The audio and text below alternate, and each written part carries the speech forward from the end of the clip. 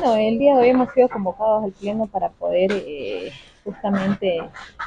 eh, derivar eh, la ley que va a regular el planteamiento que ha derivado desde la Sala Constitucional Tercera respecto a la definición de la ausencia y la aplicación de la suplencia gubernamental. Y es en ese sentido que estamos convocados. El procedimiento sería pues derivar a la comisión, que es de acuerdo a normativa lo que corresponde, ¿no?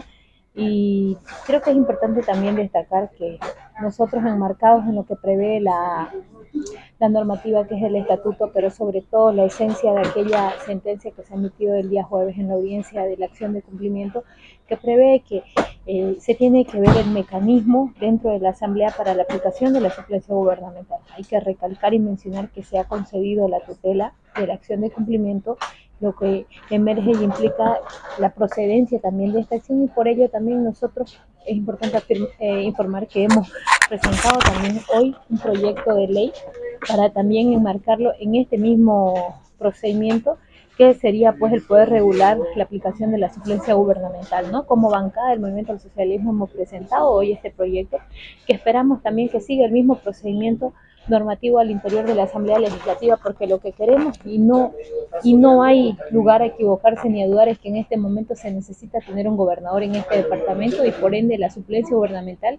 se debe aplicar de manera inmediata. En este proyecto que ustedes presentaron de ley, ¿qué consta ante la ausencia de un gobernador que en este momento se encuentra en Chinchocó? Eh, eh, básicamente habla respecto al tema de la ausencia, la ausencia que es algo que eh, hace referencia a que la misma tiene que definirse a la falta o la no presencia de aquella persona o servidor público en el lugar donde desarrolla sus funciones o en el lugar de alguna de las sedes de sus funciones, es decir,